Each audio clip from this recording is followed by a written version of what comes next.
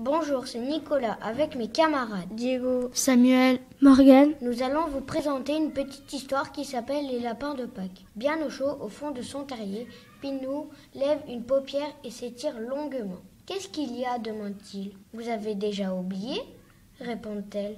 Nous avons des œufs à préparer. Demain, c'est le dimanche de Pâques, et les enfants d'ici comptent sur nous. En quelques secondes, Pinou et ses deux frères sont sur pattes. Trois boules de poils suivent leur maman et sortent sous le frais soleil d'avril, direction la fabrique de chocolat, en même temps que des dizaines d'autres lapins. Pinou est grognon. C'est la tradition, mon mignon. N'empêche que du coup, des œufs en chocolat, on n'en a pas, marmonne Pinou. Bientôt, les lapins sont au travail dans une immense clairière où bouillonnent des chaudrons. Soudain, le ciel semble s'obscurcir. Tous lèvent la tête et voient une nuée de cloches ailées traverser le ciel et disparaître à l'horizon.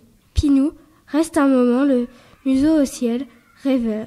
Juste assez longtemps pour apercevoir une dernière cloche toute petite qui voyage à la traîne. Vas-y, tu peux les rattraper, encourage-t-il de plus belle. Il lui semble que dans le ciel, la petite cloche a ralenti, comme si elle l'avait entendu. Puis elle disparaît à son tour.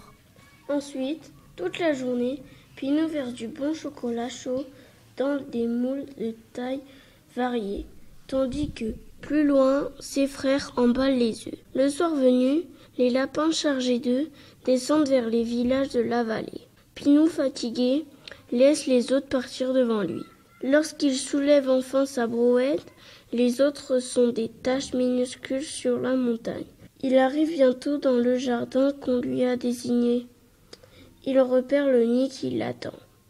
Il dépose ses œufs, les contemple une minute, quand même tenté d'en goûter un, mais il résiste à la tentation. Plus tard, avant de se glisser dans son terrier, il regarde une dernière fois le ciel, étoilé maintenant.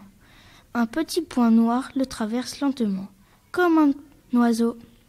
Le lendemain, au réveil, il passe un poil de museau dehors, mais foulant ensuite l'entrée du terrier, il se fige.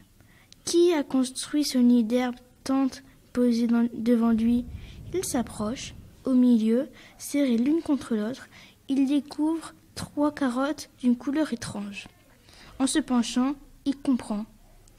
Les carottes sont en chocolat. À côté du nid abandonné repose une plume. Pinou lève les yeux au ciel. Merci pour ce cadeau, petit cloche perdu, lance-t-il au ciel bleu. Puis, en criant de joie, il court réveiller ses frères. Au revoir et bonne chasse aux œufs. Ne mangez pas trop de chocolat. Sinon, vous, vous allez avoir mal au ventre. Bonnes vacances à tous.